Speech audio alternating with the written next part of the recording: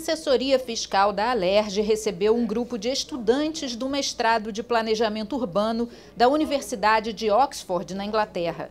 Os alunos estão no Rio para conhecer o projeto do Porto Maravilha, que está sendo desenvolvido nos bairros da zona portuária da cidade, e os impactos das novas intervenções para os antigos moradores da região. Rio uh, is a very interesting city for us. O professor explicou que o Rio de Janeiro é uma cidade muito interessante e que eles estão interessados em experiências internacionais de planejamento urbano e particularmente em projetos de infraestrutura urbana. Particularly uh, on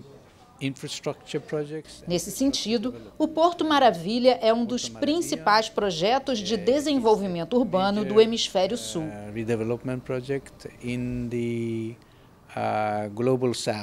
Os estudantes conversaram com o diretor-presidente da assessoria fiscal da Alerj, Mauro Osório, que também é professor da Universidade Federal do Rio de Janeiro.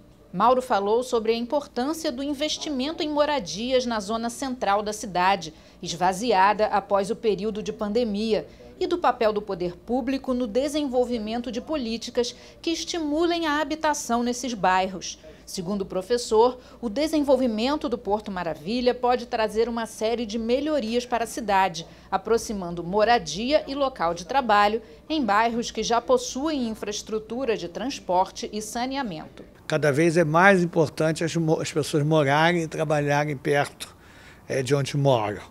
Então, a cidade do Rio de Janeiro precisa desestimular que a cidade continue crescendo para a região da, da Zona Oeste, né?